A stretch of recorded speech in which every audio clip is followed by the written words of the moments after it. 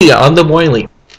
Shut up about Steven Crowder. He's a friend of mine. I've met him in person. He's a good dude. He does not fuck around. Stop fucking talking about him like he's gonna go fucking beat up on some Union slug. Which, by the way, you don't even know that he didn't do that in fucking self-defense. You know nothing about it.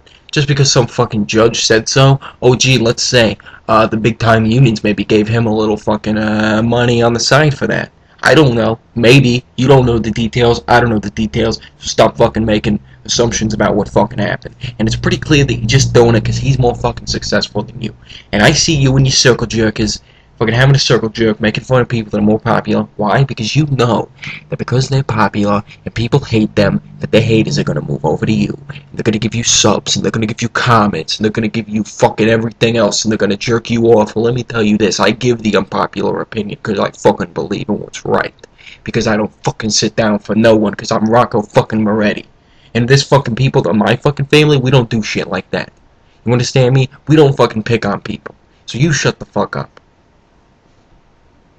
P.S. Might be time to move out of your parents' house and be successful like Steven is. Got that? Okay, good. Later.